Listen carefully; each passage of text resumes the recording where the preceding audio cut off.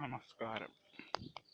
ബ്രഹ്മസൂത്രം എന്ന ഭാഷ എന്നുള്ള വസ്തുതയുടെ ശങ്കരഭാഷ്യത്തിനെ പറ്റിയാണ് നമ്മളിവിടെ സംസാരിക്കുന്നത്.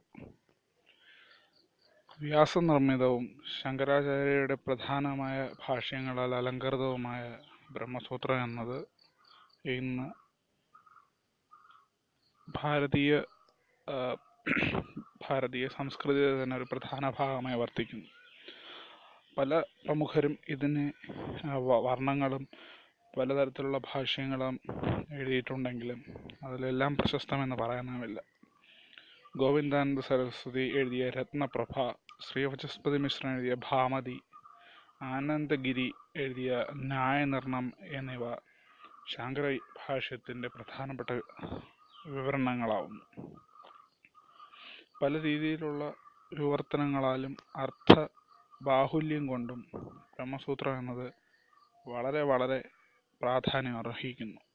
നമ്മുടെ ഇന്നത്തെ ജീവിതത്തിൽ എന്തുകൊണ്ടും എങ്ങനെ ജീവിക്കണമെന്നും അല്ലെങ്കിൽ എന്തുകൊണ്ട് ജീവിക്കണമെന്നും ഉള്ള വ്യക്തമായ കാഴ്ചപ്പാട് ബ്രഹ്മസൂത്രം നമുക്ക് തരുന്നു. ശാസ്ത്രോപയോഗം എന്ന രീതിയിൽ നമുക്ക് ബ്രഹ്മസൂത്രത്തിനെ ഉപയോഗിക്കാം. അതായത് ഭഗവാൻ ശങ്കരഭാഷ്യത്തിൽ എഴുതിയിരിക്കുന്നത് പോലെ അല്ലെങ്കിൽ ശങ്കരഭാഷ്യം എന്തോ അർത്ഥമാക്കുന്നത് പോലെ സ്വാഷ്ട ലാഭത്തിനും അനിഷ്ട പരിഹാരത്തിനുമായിട്ടുള്ളൊരു ഉപാധിയായ ബ്രഹ്മസൂത്രത്തിനെ നമുക്ക് കണക്ക് കൂട്ടാം. നാല് വേദങ്ങൾ.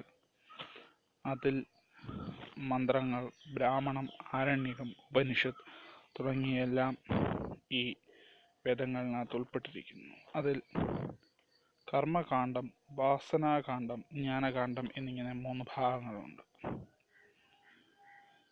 യാഗം എങ്ങനെ നടത്തണം? അതിനുള്ള മന്ത്രം ദേവത തുടങ്ങിയവയാണ് കർമ്മകാന്ഡം അനുഷ്ഠിക്കുന്നത്. മന്ത്രത്തിലെ കാര്യങ്ങൾ ഏതെല്ലാം വിധത്തിൽ നടത്തണമെന്ന് പറയുന്നത് ബ്രാഹ്മണം. ഉപാസനാകാന്ഡം ജ്ഞാനാകാന്ഡം എന്നിവ വിവരിക്കുന്നത് ഏത് വിധത്തിൽ ഉപാസി ഒരു ദേവതയെ ഏത് വിധത്തിൽ ഉപാസിക്കണം തുടങ്ങിയ കാര്യങ്ങളാണ് ഇതിനെ സംബന്ധിച്ചുള്ള കാര്യങ്ങൾ.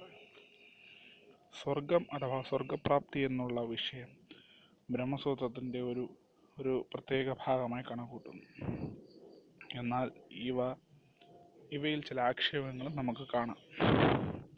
കർമ്മത്താൽ രൂപപ്പെടുന്ന വസ്തുക്കൾ എങ്ങനെയെല്ലാം അപ്രത്യക്ഷമാവുന്നുവോ അതുപോലെ പുണ്യത്താൽ രൂപപ്പെടുന്ന സ്വർഗവും ശാശ്വതമല്ല എന്നാണ് ബ്രഹ്മസൂത്രം പറയുന്നത്. അതായത് ലോകാശയിൽ നിന്നും മാറുക അതായത് ലോകാശയെ ഉപേക്ഷിക്കുക എന്നതാണ് വാസ്തവമെന്ന് ബ്രഹ്മസൂത്രം സൂചിപ്പിക്കുന്നു.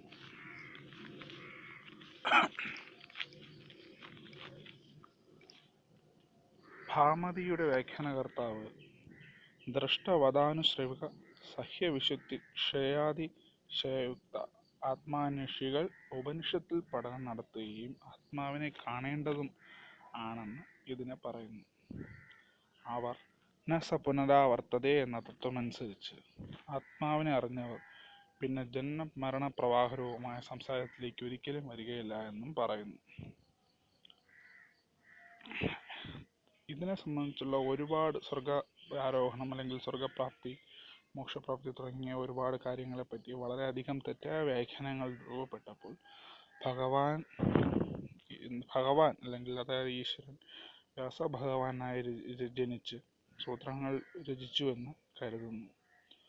ആദ്യ അധ്യായത്തിൽ നൂറ്റി മുപ്പത്തിനാല് സൂത്രങ്ങൾ നാല് പാദങ്ങളിലായി പറഞ്ഞിരിക്കുന്നു. അതിനെ നാല് ഭാഗങ്ങളെ സാമാന്യാധ്യായം അവിരോധം സാധനം ഫലം എന്നിങ്ങനെ നാലായി തിരിച്ചിരിക്കുന്നു.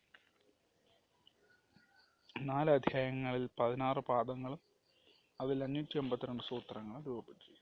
ഇതാണ് ബ്രഹ്മസൂത്രം എന്നതിന്റെ ഏകദേശ ഒരു ഒരു പരിചയപ്പെടൽ. വരുന്ന ഭാഗങ്ങളിൽ നമുക്ക് കൂടുതൽ വിവരങ്ങൾ ശ്രദ്ധിക്കാം. എല്ലാവർക്കും ശുഭദിനം ആശംസിക്കുന്നു നന്ദി.